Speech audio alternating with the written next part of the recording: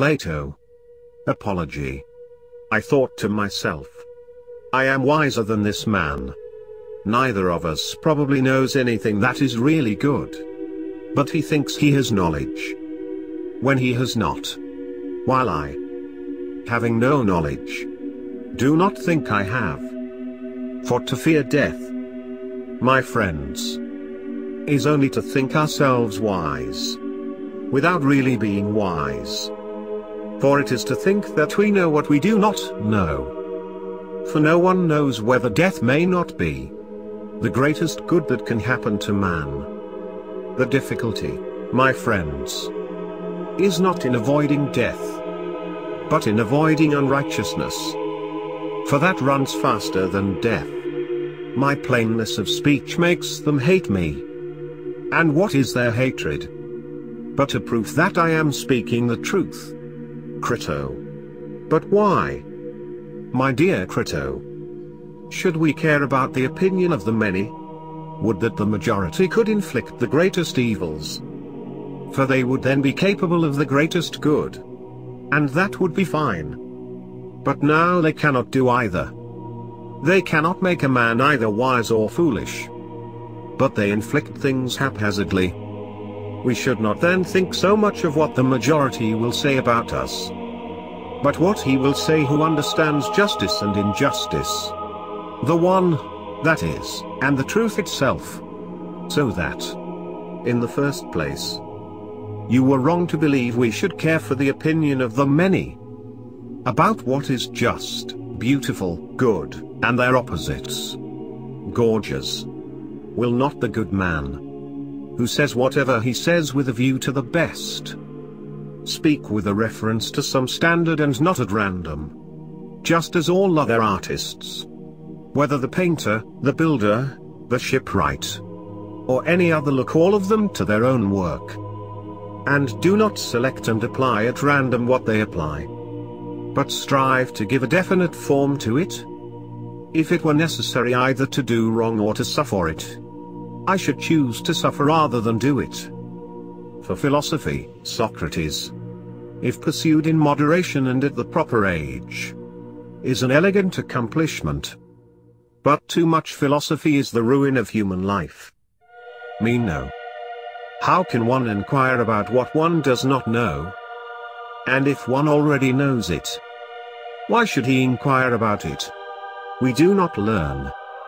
And what we call learning is only a process of recollection.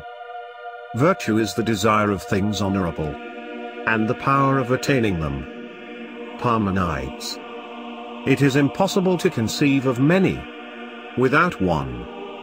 Just as things in a picture, when viewed from a distance, appear to be all in one and the same condition and alike. But if with your mind's eye you regard the absolute great, and these many great things in the same way. Will not another great appear beyond? By which all these must appear to be great. Phaedo. It is our duty to select the best and most dependable theory that human intelligence can supply, and use it as a raft to ride the seas of life. For there are misanthropists, or haters of men. There are also misologists or haters of ideas. And both spring from the same cause, which is ignorance of the world. The wise man will want to be ever with him who is better than himself. Phaedrus. Love is a serious mental disease. The madness of love is the greatest of heaven's blessings. Man is a prisoner who has no right to open the door of his prison and run away. A man should wait, and not take his own life until God summons him. Symposium. Love is simply the name for the desire and pursuit of the whole. Love is born into every human being. It calls back the halves of our original nature together. It tries to make one out of two and heal the wound of human nature. He whom love touches not walks in darkness. Republic.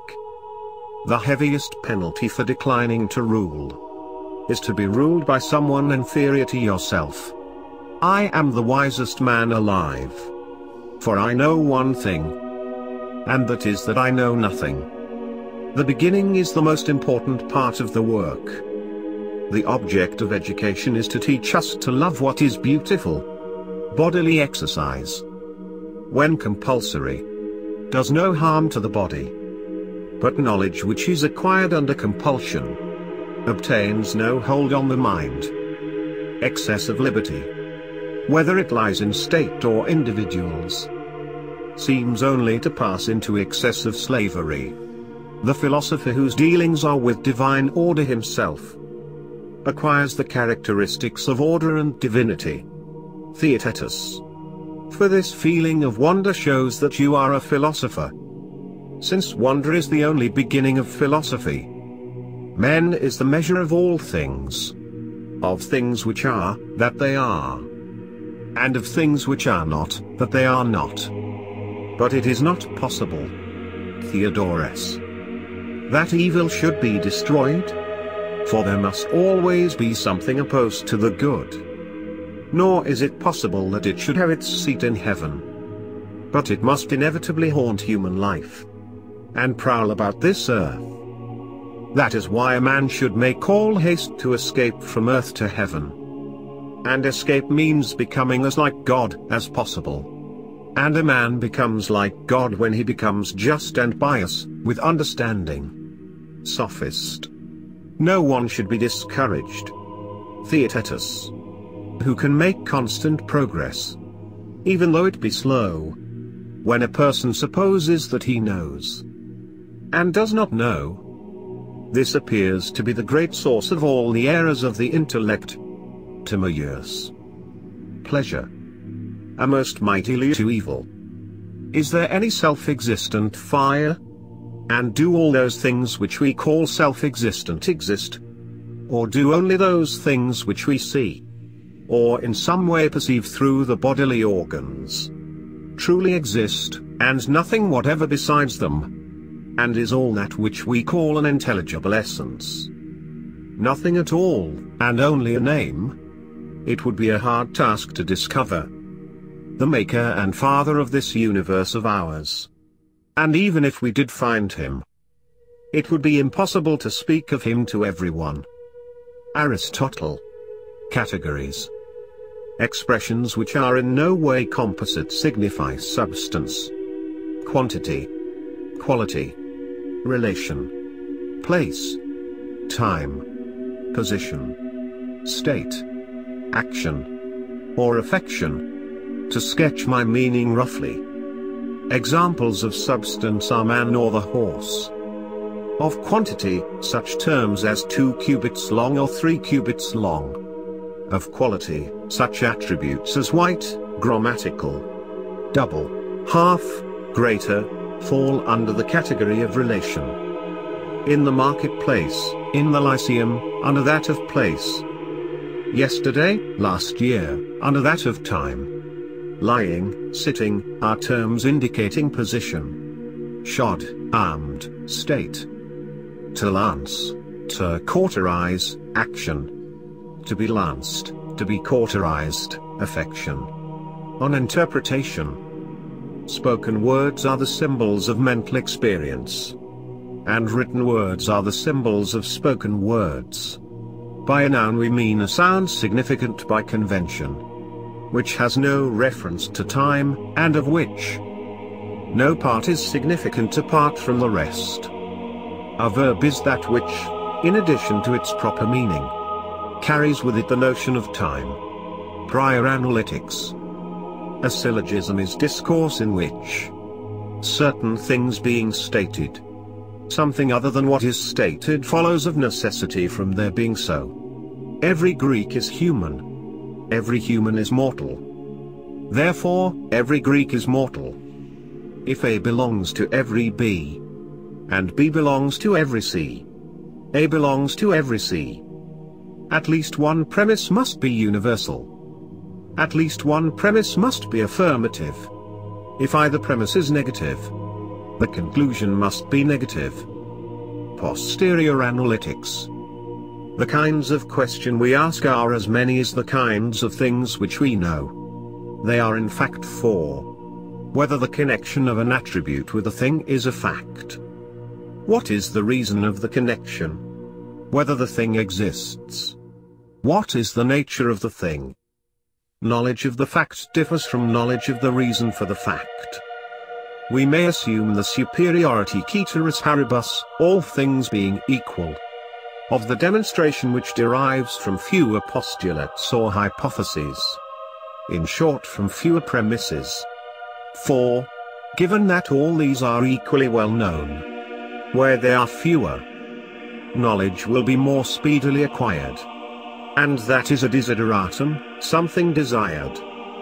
The argument implied in our contention that demonstration from fewer assumptions is superior may be set out in universal form. Physics. For my definition of matter is just this. The primary substratum of each thing. From which it comes to be without qualification. And which persists in the result. The necessary in nature, then, is plainly what we call by the name of matter.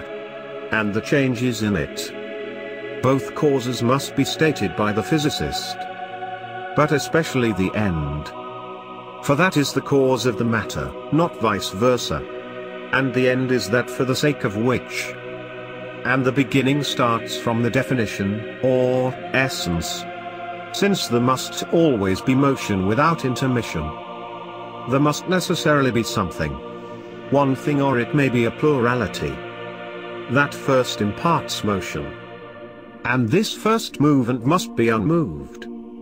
On generation and corruption. For it is the nature of that which is the same and remains in the same state. Always to produce the same effects. So either there will always be coming to be or perishing. Those whom devotion to abstract discussions has rendered unobservant of the facts are too ready to dogmatize on the basis of a few observations on the soul. To attain any assured knowledge about the soul is one of the most difficult things in the world. In general, we may ask, why has not everything a soul? Since everything either is an element, or is formed out of one or several, or all of the elements.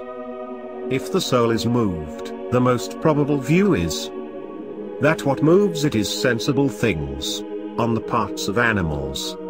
In all things of nature there is something of the marvelous. We should venture on the study of every kind of animal without dishaste. For each and all will reveal to us something natural and something beautiful. On the generation of animals. Nature flies from the infinite. For the infinite is unending or imperfect. And nature ever seeks an end. Metaphysics. All men by nature desire to know. An indication of this is the delight we take in our senses. For even apart from their usefulness they are loved for themselves. And above all others the sense of sight. For not only with a view to action, but when we are not going to do anything, we prefer sight to almost everything else. The reason is that this, most of all the senses, makes us know and brings to light many differences between things. For it is owing to their wonder that men both now begin and at first began to philosophize. They wondered originally at the obvious difficulties, then advanced little by little, and stated difficulties about the greater matters. For example, about the phenomena of the moon and those of the sun and of the stars. And about the genesis of the universe, and a man who is puzzled and wonders thinks himself ignorant. Whence even the lover of myth is in a sense a lover of wisdom. For the myth is composed of wonders. Therefore since they philosophized order to escape from ignorance, evidently they were pursuing science in order to know. And not for any utilitarian end. If, then, God is always in that good state in which we sometimes are, this compels our wonder. And if in a better, this compels it yet more. And God is in a better state. And life also belongs to God. For the actuality of thought is life. And God is that actuality. And God's self-dependent actuality is life most good and eternal. Those who assert that the mathematical sciences say nothing of the beautiful or the good are in error. For these sciences say and prove a great deal about them. If they do not expressly mention them, but prove attributes which are their results or definitions. It is not true that they tell us nothing about them. The chief forms of beauty are order and symmetry and definiteness, which the mathematical sciences demonstrate in a special degree. Nicomachean Ethics One swallow does not make a summer. Neither does one fine day. Similarly, one day or brief time of happiness does not make a person entirely happy. Without friends, no one would want to live. Even if he had all other goods. It is not always the same thing to be a good man and a good citizen. For the things we have to learn before we can do them, we learn by doing them. Politics. Man is by nature a social animal. An individual who is unsocial naturally and not accidentally is either beneath our notice or more than human. Society is something that precedes the individual. Anyone who either cannot lead the common life or is so self-sufficient as not to need to, and therefore does not partake of society, is either a beast or a god for man, when perfected, is the best of the animals. But, when separated from law and justice, he is the worst of all. Since armed injustice is the more dangerous. And he is equipped at birth with the arms of intelligence and with moral qualities which he may use for the worst ends. Wherefore, if he have not virtue, he is the most unholy and the most savage of animals and the most full of lust and gluttony. But justice is the bond of men in states. And the administration of justice, which is the determination of what is just, is the principle of order in political society, and poverty is the parent of revolution and crime. Rhetoric. It is absurd to hold that a man ought to be ashamed of being unable to defend himself with his limbs but not of being unable to defend himself with speech and reason. When the use of reason is more distinctive of a human being than the use of his limbs. The young have exalted notions. Because they have not been humbled by life or learned its necessary limitations. Moreover, their hopeful disposition makes them think themselves equal to great things. And that means having exalted notions. They would always rather do noble deeds than useful ones. Their lives are regulated more by moral feeling than by reasoning. All their mistakes are in the direction of doing things excessively and vehemently. They overdo everything. They love too much. Hate too much. And the same with everything else. It is simplicity that makes the uneducated more effective than the educated when addressing popular audiences. Poetics. A tragedy, then, is the imitation of an action that is serious. And also, as having magnitude, complete in itself. In language, not in a narrative form. With incidents arousing pity and fear. Wherewith to accomplish its catharsis of such emotions. Poetry is finer and more philosophical than history. For poetry expresses the universal and history only the particular. Poetry demands a man with a special gift for it. Or else one with a touch of madness in him. But the greatest thing by far is to have a command of metaphor. This alone cannot be imparted by another. It is the mark of genius. For to make good metaphors implies an eye for resemblances. Euclid. Elements. The whole is greater than the part. There is no royal road to geometry. If a straight line falling on two straight lines makes the interior angles on the same side less than two right angles, the two straight lines, if produced indefinitely, meet on that side, on which are the angles less than the two right angles. A unit is that, by virtue of which, each of the things that exist is called one. A number is a multiple composed of units. Magnitudes are said to be in the same ratio. The first to the second and the third to the fourth. When, if any equimultiples whatever be taken of the first and third. And any equimultiples whatever of the second and the fourth. The former equimultiples alike exceed, are alike equal to, or alike fall short of, the latter equimultiples respectively taken in corresponding order. The laws of nature are but the mathematical thoughts of God.